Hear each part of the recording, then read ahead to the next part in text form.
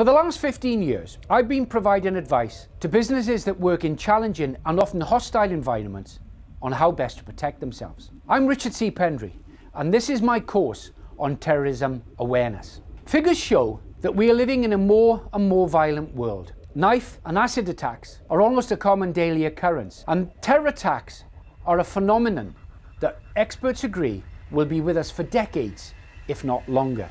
In just over two years, for example, the UK has had eight terror attacks which have taken 37 lives. It's a fact that terrorism is a clear and present danger, and as such, your business needs to know how to respond to it. This one day course has been accumulated from my experience in fighting terrorism in Iraq, Syria, Afghanistan, and Somalia.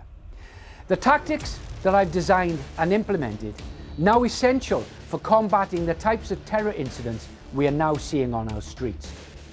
The course will give your business the knowledge on how we can effectively respond to a terror incident. It will allow you to identify the specific threats and vulnerabilities that terrorism creates, and it will give you the capacity on how to develop emergency procedures. If you want to protect your organisation against a terror attack, then sign up today.